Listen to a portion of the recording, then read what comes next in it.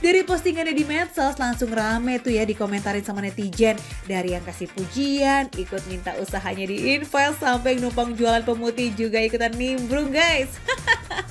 Bikin penasaran gak sih kenapa sih ini AA Rafiko sampai bela-belain tanam investasi di warung Rojo Sambel? Emang seenak apa sih? Nah, Zaki Zimah jadi ikutan kepo nih sama warung yang satu ini. Waduh, pedes banget nih kayaknya, Mas. Teman duduk boleh ya? mas, ini kayaknya nafsu banget nih makannya nih. Udah sering ke sini apa gimana? Mas, kalau di sini baru pertama, yang dipesan menunya apa? Bebek. Bebeknya itu ada rasa khas atau spesial nggak, Mas? Ya, daging empuk. Daging empuk. Sambelnya gimana sambelnya tuh? Ya, ya, mantap. Sambelnya mantap. Aduh, foodies, kalau saya lihat ini bebeknya empuk banget ya. Tinggal dipotek dikit langsung lepas dagingnya dari tulangnya. Bener nggak, Mas? Bener. Foodies, ini saya juga mau pesen nih. Masa ngeliatin mas sama mbaknya makan. Saya juga ngiler nih. Oke, foodies. Warung yang baru sekitar 3 bulan beroperasi di sekitaran Kalibata, Jakarta Selatan ini mulai buka lapak dari jam 5 sore sampai dengan jam 11 malam foodies. Masih baru buka aja pembelinya langsung pada datang tuh. Sekilas sih mirip kayak pecel ayam pinggir jalan ya, tapi jangan cuma lihat dari tampilan warungnya aja. Menu di sini beda foodies. Yang dijual memang standar jajanan warung tenda kaki lima, tapi kalau dari cara pengolahannya ada proses pengasapannya juga.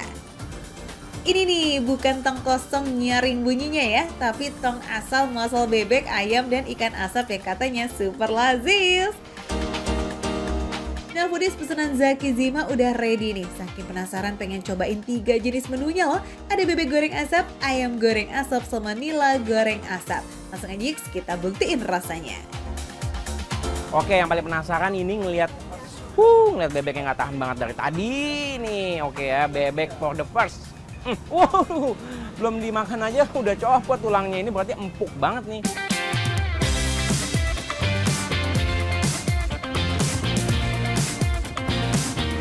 Sampai getar lembutnya. Ini lembut banget bebeknya. Eh denger-dengar salah satu proses masaknya itu ada tahapan di Presto Foodies. Pantesan aja dagingnya super empuk. Nah yang bikin lazis lagi nih ada pilihan sambal bakarnya. Mantips. Sekarang langsung cobain pakai sambal ya. Sambal bakar, uh, uh, masih panas. Ini bagian kulitnya nih ya, bumbunya paling berasa biasanya di bagian kulit. Enggak, ini benar-benar enak. Ini enak. Daging bebek yang empuk, dicocol pakai sambal bakar dan disatin sama nasi uduknya. Hmm, lazis bener foodies. Aduh aduh, overdosis deh itu enaknya. Bebeknya itu rasanya tuh ya. Ini kayak ada manisnya, ada rasa semacam ketumbar ya. Asinnya pasti, tapi asinnya nggak terlalu mendominasi ya. Oh, ini sambalnya udah mulai pedes nih. Luar biasa. Pingsan, pingsan. Jangan pingsan dulu dong Ki, masih ada ikan nila goreng asap yang udah nungguin nih buat disikat. Ini lumayan crispy bagian kulitnya. Ini enak, ini enak. Dan ikannya juga nggak kata lumpur ya. Karena kan ini ikan nila. Digorengnya lumayan kering. Dan rasa asapnya itu juga berasa ya. Karena kan satu, satu jam kalau nggak salah diasap nih untuk ikan ini. Gak cuma bebek goreng asapnya aja yang juara, nila goreng asapnya juga lazis karena sudah melalui proses pengasapan. So, olahan ikan ini berbeza ya foodies. Rasanya tuh beda banget dengan bebek goreng asap. Kalau nila ini kayak lebih asin. Dicocol sambal dadaknya, waduh semakin sedap. Terus terus terus ayam goreng asapnya gimana nih?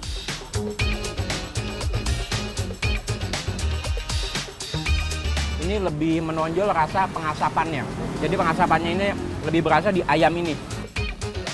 Dilihat dari daging ayamnya, ini jenis ayam negeri ya foodies. Biasanya sih ayam pejantan karena stok supplier lagi habis nih. Jadi khusus hari ini pakai ayam negeri. Tapi biar dagingnya tebal, bumbunya mah tetap ngeresep banget sampai ke dalam nih foodies. Berasa banget ya bumbunya. Terbukti ya foodies kalau ketiga menu ini super lazis. Nah ada satu nih yang jadi menu favorit Zaki foodies. Yang the bestnya, yang paling saya suka itu ada di bebek tetap nomor satu di bebek. Bebeknya enak banget. Keringetan foodies, ini terlalu enak. Ini sepertinya saya mau lihat cara mereka eh, ngebuatnya gimana, prosesnya gimana secara langsung. Tapi ini berhubung masih banyak, nanti saya balik lagi, saya akan habisin semuanya. Sepenasaran itu ya sampai pengen lihat cara masaknya. Foodies di rumah juga sama kan? Pasti kepo dong, pengen tahu pakai banget. Ai, ai, jadi valid ya Foodies. Sultan Andara emang ada rencana buat investasi di warung Rojo Sambal ini. Mantul. Oke deh, coba kita intip ya. Kayak apa sih proses masaknya? Oke foodies, ini adalah hasil pengasapan dalam drum selama satu jam. Ini ini pengaruh sama eh, daging biar lebih empuk ya? Ngaruh juga. Nah ini dia rahasianya, semua menu ayam, bebek, dan ikan asap itu melalui proses pengasapan di dalam tong ini nih foodies. Dan sebelum diasap, semua bahannya sudah diungkap, lalu dipresto dan baru dimasukkan ke dalam tong ini untuk diasap. Coba ayamnya ya. Oke, ini ayam sebelum diasap udah dipresto pula. Jadinya kayak gini nih. Aduh, nggak pakai tenaga, nggak pakai tenaga, udah copot dari tulangnya, foodies. Aduh, ini tadi saya makan ini benar-benar enak banget, ini mantep banget. Total dari proses masak ini ada empat tahap ya foodies. Setelah diasap, nasi kuda digoreng sekitar satu menit aja. Makanya ikan nila yang dimakan Zaki tadi tuh foodies itu tampilannya kering dan juga renyah. Nih ngomong-ngomong foodies, di belakang saya ini yang beli, uh rame banget. Harganya boleh receh, tapi yang datang itu bukan recehan. Wow, wow, wow, wow, wow, wow. Untuk pilihan sambelnya, foodies bisa pilih sambal dadek atau sambal bakar tergantung selera ya. Nah, kalau yang lagi hype sih sambal bakar ini foodies. Sambal yang dimasak langsung menggunakan piring tanah liat dan disajikan langsung selagi panas.